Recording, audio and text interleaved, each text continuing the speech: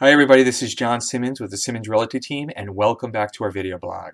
Before I get started, I want to point out those two important links. One, if you wanted to see what your house is worth, you're thinking about selling, go ahead and click on that link. Number two, if you want to see what's currently on the market, go ahead and click on that link as well.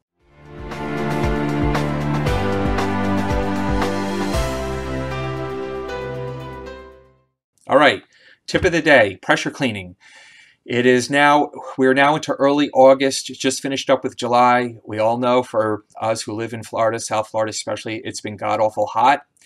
And lately we've been getting a lot of rain. And I don't know about you guys, but I've seen some algae showing up on our fence, a little bit around the house.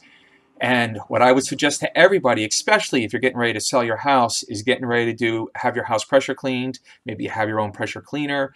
Um, but I would definitely think about that. I wouldn't necessarily do it now because we're still in August. But come late September, early October, when we start going through that transition to that beautiful Florida uh, winter, I would definitely consider it then. Okay, that is my tip of the day. Get your house clean, especially if you're selling. And of course, if you're selling, give us a call. My name, again, John Simmonds, cell phone 561-662-7358. But again, you can call anybody on our team, and we love to help you out. Take care and have a great, wonderful last part of the summer. And guess what? Kids are going back to school. Talk to you later. Bye-bye.